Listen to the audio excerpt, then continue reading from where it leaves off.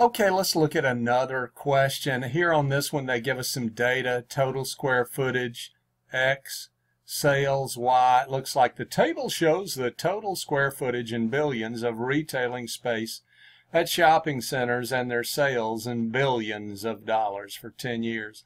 The equation of the regression line, they give us that, is uh, 547.912 times x minus 1860.972.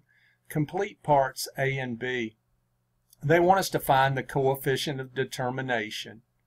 So this is real easy to do in Excel.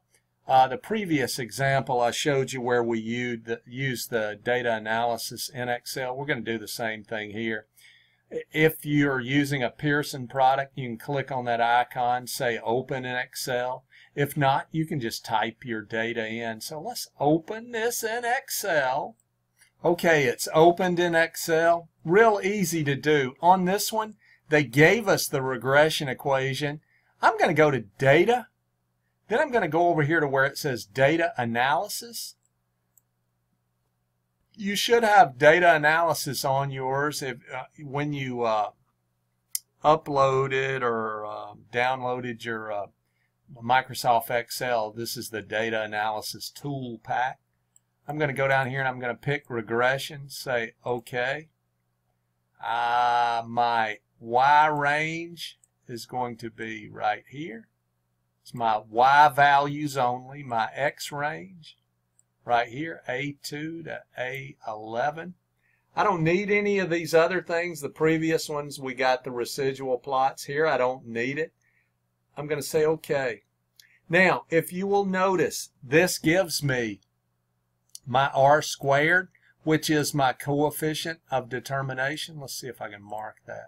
There's my R squared. I'm going to come out here and I'm going to say that is my coefficient of determination, determination. Uh, if they ask you for the standard error, right there it is, I'm going to mark it. There's your standard error. Uh, so you have that. I don't know if it gives you the R value in this or not.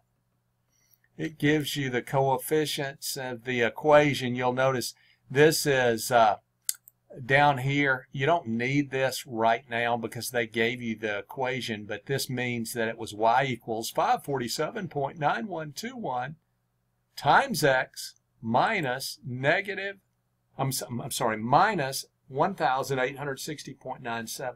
But you've got all of that data now, so we've got this. We nailed it.